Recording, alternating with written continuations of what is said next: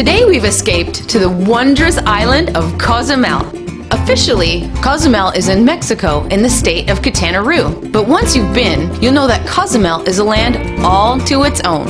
Sure, it hosts the same hospitality Mexico is famous for, but Cozumel feels more like a different world, or even better, a slice of heaven. People seem to lump Cozumel into being yet another Mexican holiday destination, but to be more accurate, Cozumel should be thought of as a very large Caribbean island. Let me give you some perspective.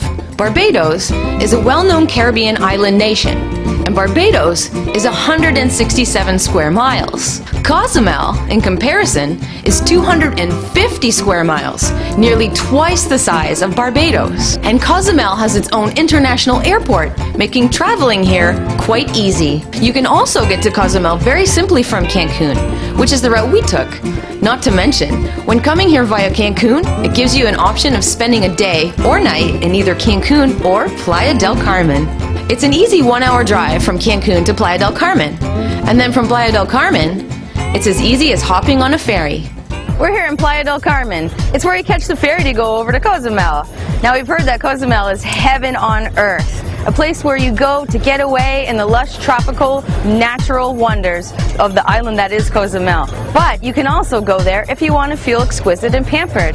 So we're going to go check it out and see if the rumor is true that Cozumel really is heaven on earth.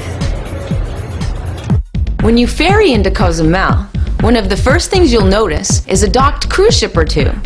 A cruise ship might be a great way to get a small taste for what the island has to offer. But trust me, as you'll see with our adventure, there's no way you can even begin to explore Cozumel in just a few short hours that a cruise ship will bring you here. Discovering Cozumel takes time. We arrived to the island's town called San Miguel. San Miguel is a beautiful colonial town with a lot to offer and all the amenities of modern life.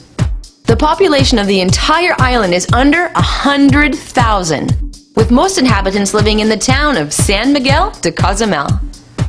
There are many ways to get around here in Cozumel. You can rent scooters, you can rent bikes, you can take taxis, but this looks fun to me.